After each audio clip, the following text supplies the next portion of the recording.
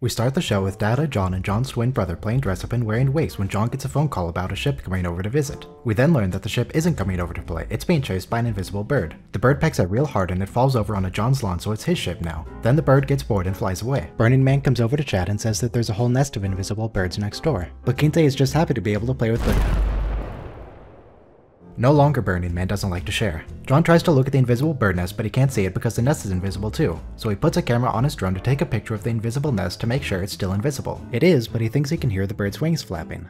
The artist formerly known as Burning Man is sad because he used to be a bird but the other birds don't like him now. Data shows him a picture of his old nest but he's really sad so that convinces him to tell John that he's actually Admiral Bird who previously pecked a pig of people. John doesn't like his pick of people previously being pecked, so he doesn't trust Admiral Bird, but Admiral Bird does know a lot about invisible nests. Birdman just wants to help though, so he tells John how to repel the invisible birds that pecked him earlier. This convinces John to go onto his neighbor's lawn to destroy the nest, but when he gets there he finds that the nest is empty. But he does find a couple really angry invisible birds who yell at him about trespassing and say they're gonna peck him real hard. But John brought some friends who tell the birds it's over because they have the high ground. That works, so everyone goes home except Admiral Burns who takes a nap instead.